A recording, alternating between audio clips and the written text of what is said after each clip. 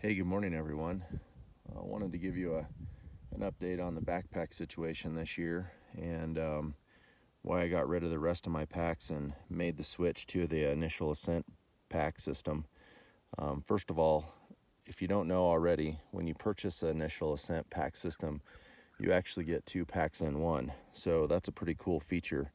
You get the complete load system with the load shelf uh, for back here behind the frame and then you can actually take off the, the lid and part of the system and detach it and you end up getting your, your day pack too. So you can haul in all your gear, transform it into your day pack and hunt from the day pack. Um, that is if you're, you know, hunting up in the back country. The other cool system and unique feature to this is that it has a hook, a sling hook or a bow hook on each side of the pack system. You've got one on the right side and the left side of the frame. Um, this I find super helpful, especially for rifle season, so your rifle sling isn't sliding off your shoulder with your straps uh, every day and when you're hunting out in the field. Um, great feature about this pack is actually the way that it's shaped.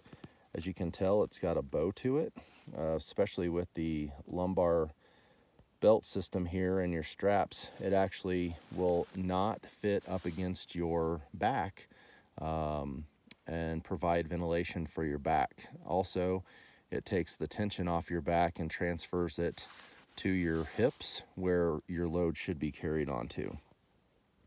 So these are a couple of the cool features. The other piece here is that it uh, has a strap here, obviously for different um, utilizations of accessories, you know, water bottle accessories, rangefinder accessories, things like that. But I find it useful for my holster, for my nine millimeter.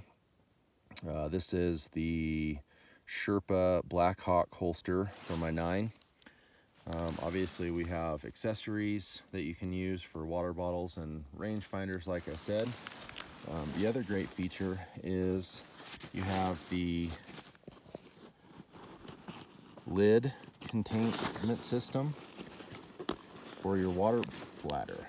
Uh, here I'm using the platypus water bladder, but you got your water bladder storage container up inside here, up in the lid. So I don't know about you, but every year I find that I'm spilling water down in my backpack and uh, water goes everywhere and gets my gear wet and things like that. So um, also it's easier to, to load in there. Um, you know, in the mornings and, and in the evenings and things like that. So anyway, just a couple quick cool updates. And if you have any questions, send me a message. Reach out to the Initial Ascent guys on Facebook, Instagram.